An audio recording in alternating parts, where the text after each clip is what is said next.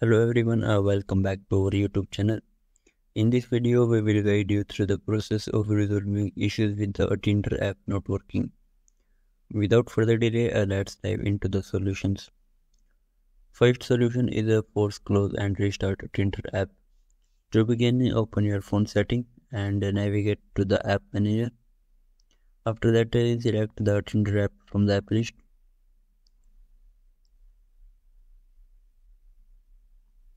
Then click on a force stopper from the bottom right corner. Confirm by clicking OK and then reopen the app. Second solution is disable and enable your internet connection. If the issue persists, try toggling your internet connection. If you are using mobile data, then turn it off for 5 to 10 seconds and then switch it back on. For Wi-Fi users, turn off Wi-Fi for the same duration and then turn it back on. Alternatively, activate aeroplane mode for 4 to 5 seconds, then turn it off. After that, check uh, if the issue resolves. Third solution is update Tinder app to the latest version.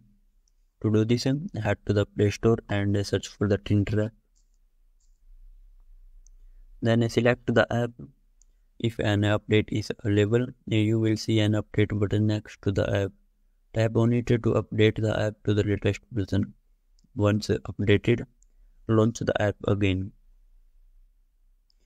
A fourth solution is a clear Tinder app caches.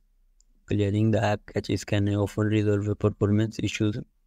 To clear Tinder app caches, uh, go to your phone setting, open App Manager and select Tinder app.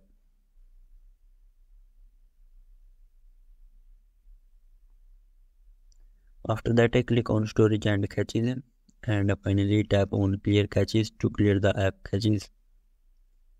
Fifth solution is uninstall and reinstall the Tinder app.